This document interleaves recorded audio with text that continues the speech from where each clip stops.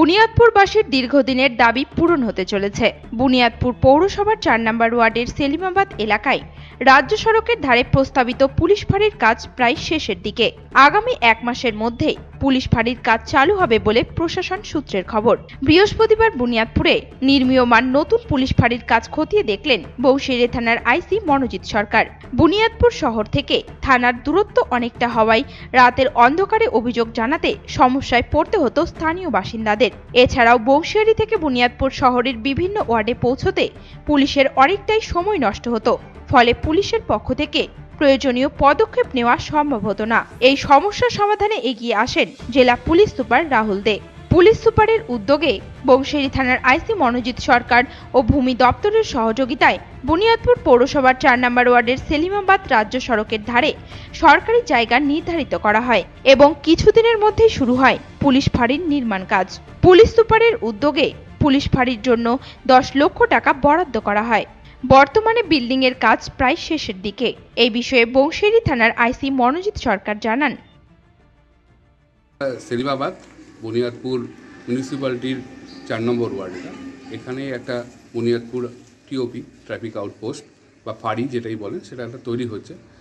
আমরা জানি যে বুনিয়াদপুর থেকে বংশারী থানাটা অনেক দূর এবং এখানেই সমস্ত জনজাতির বাস, তাহলে রাত্রিবেলা বংশারী থানায় গিয়ে অভিযোগ করা অনেকের পক্ষে অসুবিধা হয়ে যায়।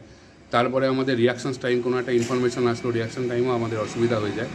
সেই জন্য এসপি স্যারের উদ্যোগে এই ফাড়িটা তৈরি হওয়া শুরু হয়েছে। আমরা এক্সপেক্ট করছি আগামী এক মাসের মধ্যেই আমরা ফাড়িটা রেডি করতে পারব এবং ফুল প্লেজেডলি কাজ শুরু করব। কতটা খুশি স্যার আপনারা?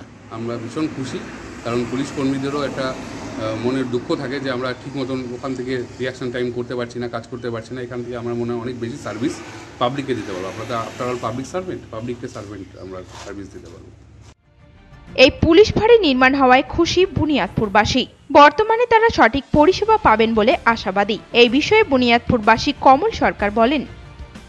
আমরা অত্যন্ত খুশি এই কারণে বংশারি যে থানাটা আছে ব্রিজের ওপারে তো পৌরসভার ক্ষেত্রে যে কোনো মানুষের যে কোনো সুবিধা অসুবিধা যাই হোক না কেন, যেহেতু সালিমাবাদে একটা পুলিশ ফাঁড়ি হচ্ছে, সেখানে অভিযোগ দায়ের করতে পারবে এবং ছোটোখাটো যে ব্যাপারগুলো থাকবে এলাকার, গ্রাম প্রতিবেশী এবং শহরের কিছু কিছু জায়গায় প্রবলেম হচ্ছে এবং শহরের বিভিন্ন জায়গাতে কিছু ছেলেপেলে বিভিন্ন সময় এবং বিভিন্ন নেশার সঙ্গে জড়িত থাকে, সেই জিনিসগুলো আমাদের এখান থেকে ফাঁড়ি থেকে দেখতে সেটা সুবিধা হবে এবং যারা এইসব অন্যায় কাজের সঙ্গে যুক্ত থাকবে সেটাকে এখান থেকে নির্ধারণ যদি করে ব্যাপারটা খুব ভালো হবে।